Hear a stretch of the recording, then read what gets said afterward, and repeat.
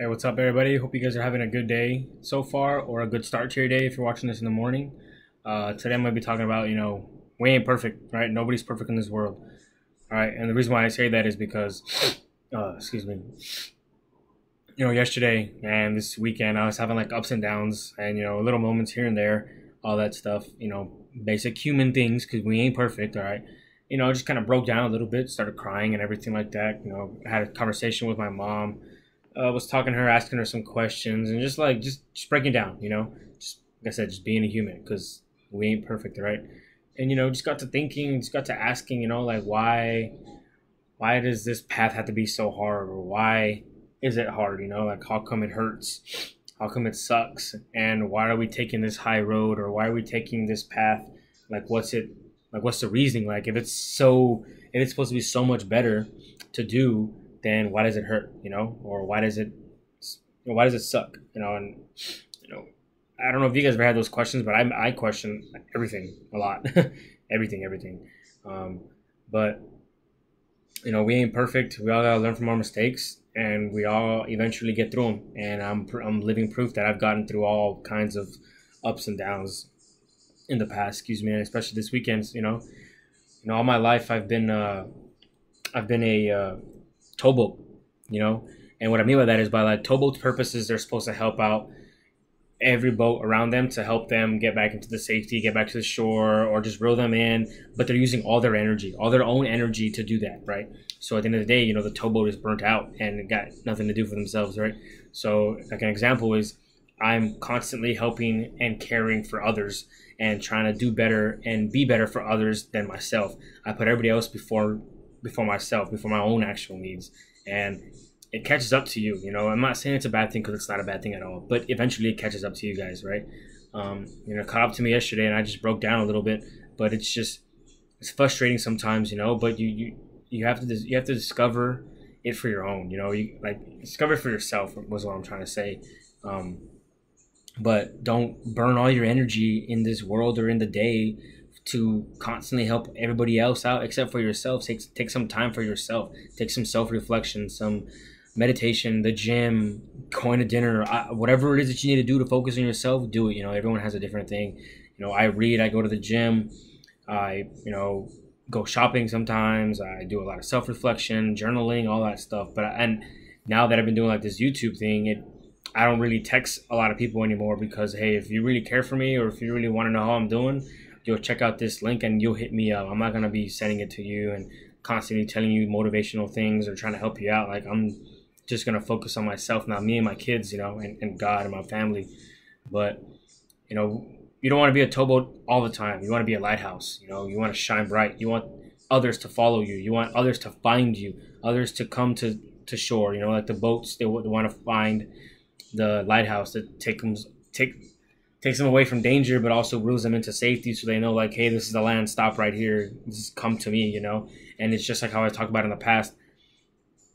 Those five people or that group of friends you hang out with, you want positive people, influential, goal getters, uh, good goal setting settings, uh, rich, successful people. And it's not like rich in like a millions of money. You can be rich in all kinds of things, but when you're around a group like that, you're gonna pick up on those things. Not exactly like that, but eventually you're gonna pick up on all those positive vibes, positive energy. But if you're around a lazy person, person who's always complaining, uh, cussing, or eating out, or just a negative person in general, then you're gonna end up being like that person too, and it's not good, right? So it's just like a lighthouse. Just if you can shine bright for yourself and work on your self reflection, other people will notice that. It's gonna take some time, but other people will notice that, all right? And then they're gonna come find you. They're gonna come ask you. They're gonna come reach out to you. Hey man, how'd you do it? Hey, how did you do this? Or how did you do that? Or how's it going? You know, I, you were I thought you were like at rock bottom months ago or days ago, and now you're like seems like your life is all, is all in order.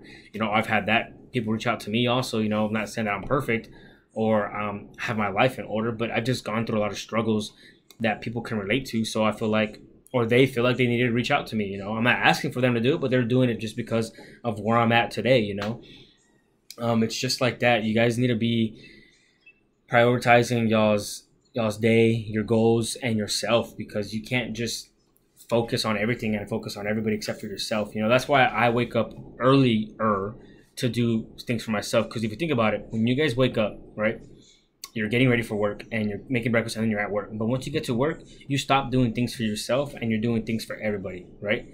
You're doing things for your boss. You're going to the meetings. You're taking notes. You're ordering supplies. You're helping patients. It's all for everybody.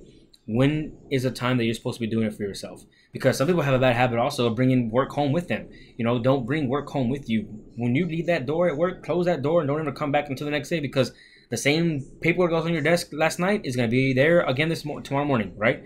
So don't let that stress you out. Don't let that ruin your day. That's why I wake up earlier. So I wake up about two, three hours early, two and a half hours early at least or at least I try to most of the nights. Two and a half hours, but two hours for sure, because I dedicate one hour to myself.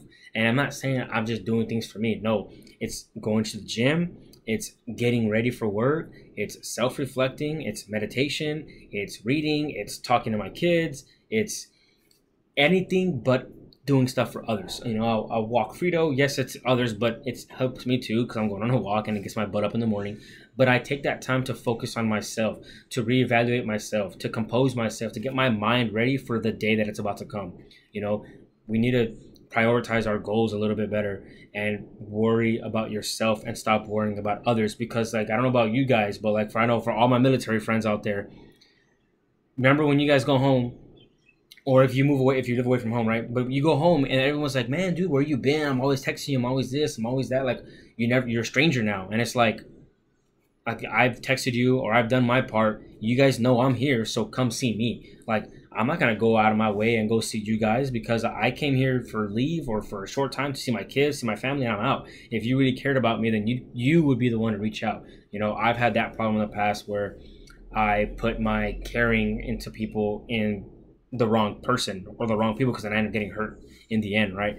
Now I'm just trying to focus on myself, and yes, I'll still talk to people here and there, but I th- I only I trimmed how people say trimmed the fat or you know like I just trimmed it down. I got rid of those toxic people and I don't bother them anymore because you know what they're just not good for me. You know I try to keep a positive circle in my life and I've noticed having a positive circle and a positive support system, then I'm a better person too. But it's also helping people around me, you know, and it's not just like uh, friends and everything, but it's family members too, you know, helping out my my parents, helping out my sister, my brother, my friends. Uh, old supervisors have reached out to me, you know, it's just they pick up on those vibes and they want to know because hey you're doing something right obviously so like let me like share the knowledge you know don't be stingy with it share the knowledge.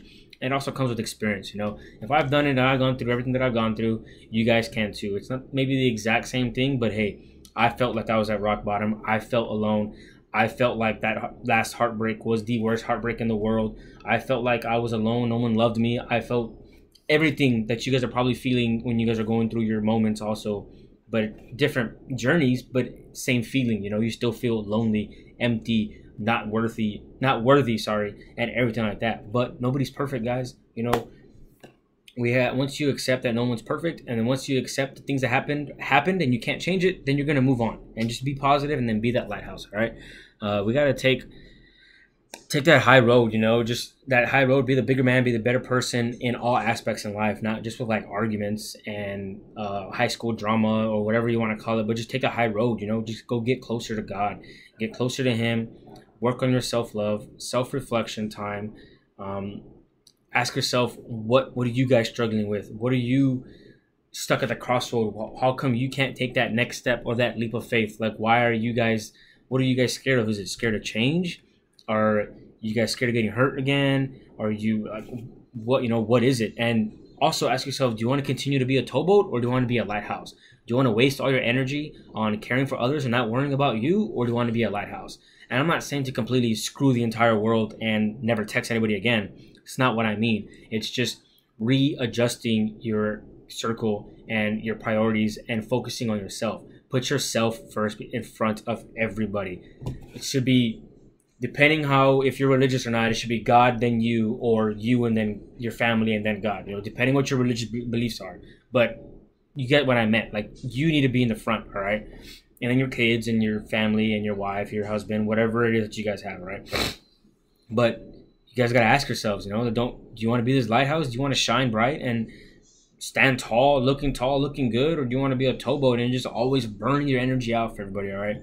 I hope you guys have a great day. If you guys ever need anything, please don't hesitate to reach out to me. All right. God bless.